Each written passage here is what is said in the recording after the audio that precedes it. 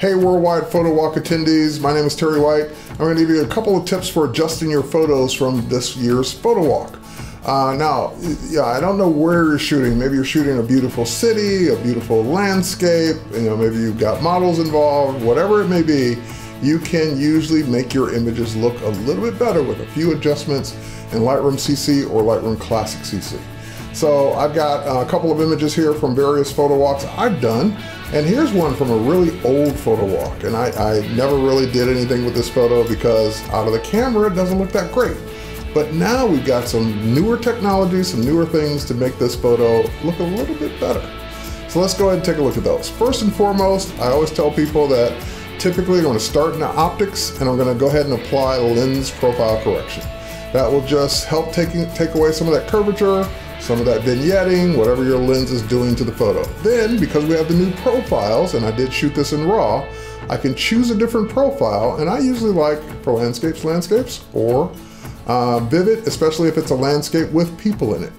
So I'll choose Vivid, and away we go. Next up, I like to get a good starting point, and rather than me try and go through all the sliders and figure out which one's gonna do the best job, the new um, Adobe Sensei, which is artificial intelligence powered auto, will look at your image and compare to similar images and make adjustments accordingly. Now, you don't have to agree with all the adjustments, but it gives you a much better starting point. So when I do that, boom, I, the image is better right off the bat, even though there's some things I disagree with. So for example, when I use auto, it tends to lower the contrast, and I'm not a fan of that. So I'll usually just go ahead and punch the contrast right back up. Um, it did a good job of lightening the shadows, but there's still a lot of shadows going on here, so I might go ahead and lighten up the shadows just a bit more. Again, this is me overriding what Auto did. And one of the things that you always want to look out for when you're working with landscape images is your horizon. You want to make sure your horizon's not crooked. So one of the ways we can fix that or take care of that is just go right into crop now crop will attempt to do an auto level. It will attempt, you know, it will attempt to straighten it out. But if you don't like it, if it's still not perfectly straight, and I have that nice bridge to work with, I can tweak it just a bit more and get it perfectly straight. Now, if you still want to make other adjustments, uh, for example, maybe I want to go into the effects and I want to work on dehaze because I haven't met a landscape yet that couldn't benefit from a little dehaze.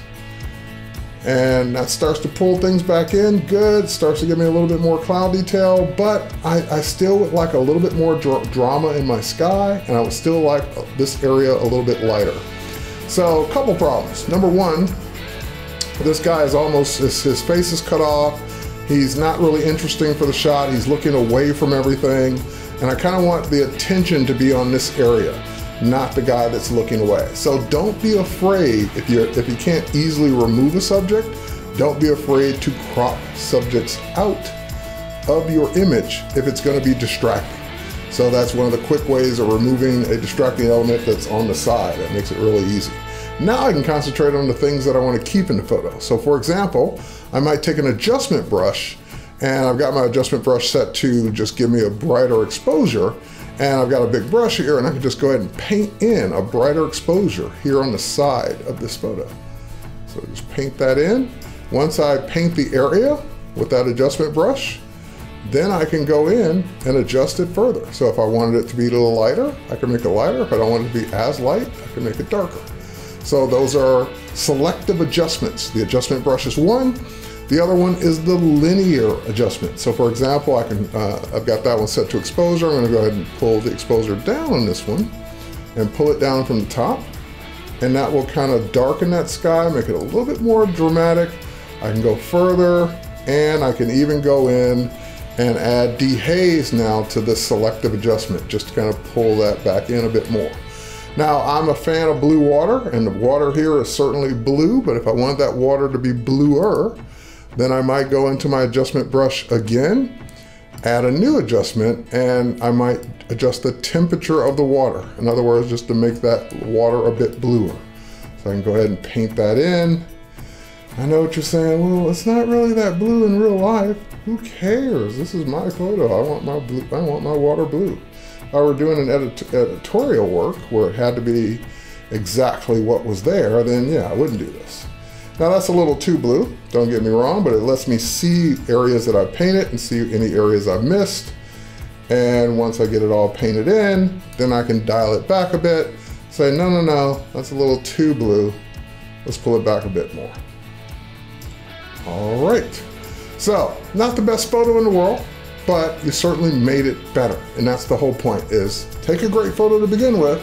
This is not a great photo, but take a great photo to begin with. Then go make that photo better.